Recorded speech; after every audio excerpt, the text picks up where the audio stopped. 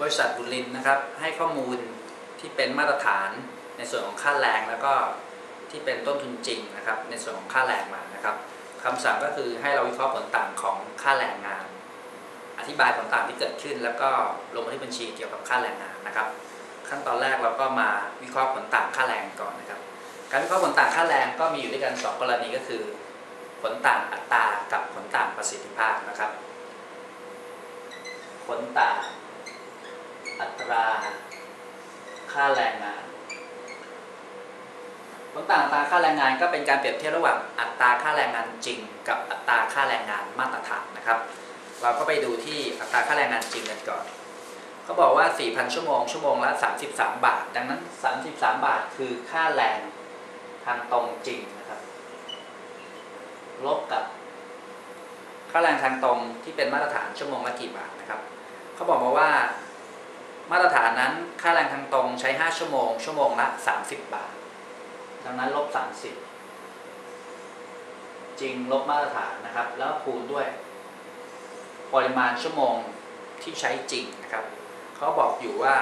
ค่าแรงงานทางตรงนั้นคือ 4,000 ชั่วโมง ก็คูณ 4,000 เราก็มาวิเคราะห์นะครับว่าน่าพอใจหรือไม่น่าพอใจ จ่ายจริงสูงกว่ามาตรฐานนะครับ เราจ่ายค่าแรง สูงกว่ามาตรฐานก็ไม่น่าพอใจนะครับ ใส่ยูครับ ผลต่างที่เกิดขึ้นก็คือ 12,000 บาท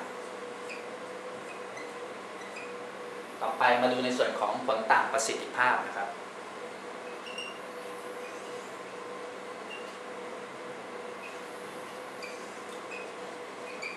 ผลต่างประสิทธิภาพก็คือการเปรียบเทียบชั่วโมงแรงงานทางตรง จริงกับชั่วโมงแรงงานทางตรงมาตรฐานนั่นเอง ชั่วโมงแรงงานทางตรงจริงจทย์ให้มาแล้วก็คือ 4,000 ชั่วโมง เปรียบเทียบกับชั่วโมงมาตรฐานนะครับ ชั่วโมงมาตรฐานเนี่ย ข้อนี้เนี่ยมีเฉพาะสินค้าสำเร็จรูปเท่านั้น ดังนั้นเมื่อมันไม่มีงานระหว่างผลิตเนี่ย เราก็ไม่จำเป็นจะต้องไปคำนวณหน่วยเทียบ เพื่อเอามาคำนวณเป็นปริมาณมาตรฐาน เพราะว่ามันไม่มีงานระหว่างผลิต เราก็สามารถนำสินค้าสำเร็จรูปนั้น มาปรับให้เป็นจำนวนชั่วโมงแรงงานทางตรงได้เลยนะครับ เราก็ดูว่าสินค้าสำเร็จรูปนั้นมีเท่ากับ 1,000 หน่วย แล้วก็ไปดูว่ามาตรฐานบอกว่า 1 หน่วยนั้นใช้กี่ชั่วโมงนะครับเขาบอกว่าตามมาตรฐานนั้นค่าแรงงานทางตรง 1 หน่วยใช้ 5 ชั่วโมง ก็คูณด้วย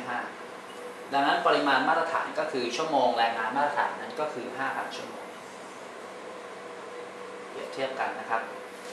แล้วก็คูณด้วยอัตราค่าแรงงานทางตรงมาตรฐาน อัตราค่าแรงงานทางตรงมาตรฐาน ก็คือ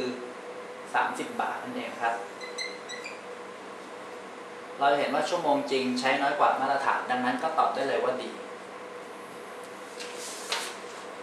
น่าพอใจนะครับ เท่ากับ 30,000 บาท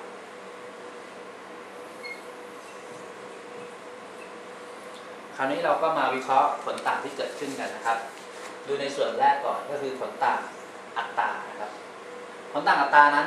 ไม่น่าพอใจนะครับ การที่เราจ่ายจริงสูงกว่ามาตรฐานอาจจะเกิดจาก การที่เราจ้างพนักงานที่ทำการผลิตนั้น ที่มีฝีมือมากกว่าเดิมนะครับ ก็เลยต้องจ่ายค่าจ้างแพงขึ้น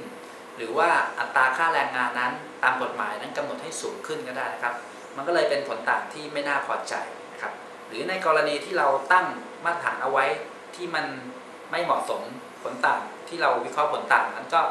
อาจจะไม่น่าพอใจด้วยก็ได้นะครับ ในส่วนของผลต่างประสิทธิภาพนั้นน่าพอใจก็คือเราใช้ชั่วโมงจริงน้อยกว่ามาตรฐาน การที่เราใช้ชั่วโมงจริงน้อยกว่ามาตรฐานก็อาจจะเกิดจากพนักงานมีฝีมือนะครับ เพราะว่าเราเคยจ้างค่าแรงงานมาแพงพอเขามาทำการผลิต เมื่อเขามีฝีมือเขาก็จะใช้เวลาในการผลิตน้อยกว่าปกตินะครับ ผลิตแล้วของไม่เสียผลิตได้ไวไม่ต้องมาสอนงานกันนะครับ ก็เลยใช้ชั่วโมงนั้นได้น้อยกว่ามาตรฐานที่ตั้งเอาไว้นะครับ ก็ถือว่าเป็นสิ่งที่ดีนะครับ ต่อไป เดี๋ยวเรามาลงบันทึกบัญชีกันนะครับ การลงบันทึกบัญชีสำหรับค่าแรงงานก็เราก็จะต้องเดบิตด้วยงานระหว่างผลิต ตัวงานระหว่างผลิตนั้นก็คือในส่วนที่เป็นปริมาณมาตรฐานคูณด้วยอัตรามาตรฐาน เราเคยทราบกันแล้วว่าปริมาณมาตรฐานก็คือ 5,000 ชั่วโมงคูณอัตรามาตรฐานก็คือ 30 บาทต่อชั่วโมง คูณกันก็คือหนึ่งแสนห้าหมื่นบาท ต่อไปนะครับ เราก็จะต้องทำการล้างค่าแรงงานทางตรงเพราะว่าในอดีตเนี่ย เราเคยบันทึกค่าแรงงานเอาไว้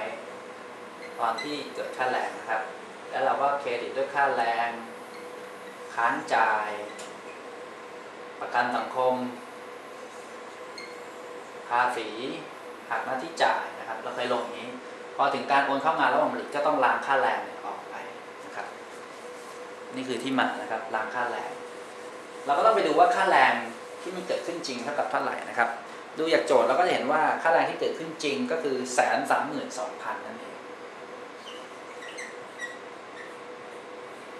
แล้วเราก็นำผลต่างนะครับมาลงนะครับ ผลต่างอัตรานั้นไม่น่าพอใจ เมื่อไม่น่าพอใจก็ต้องลงทางด้านเดบิตผลต่างอัตรา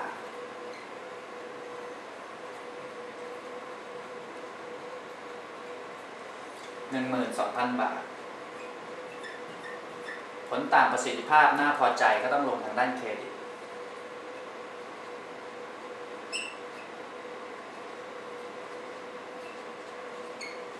สามหมื่นบาท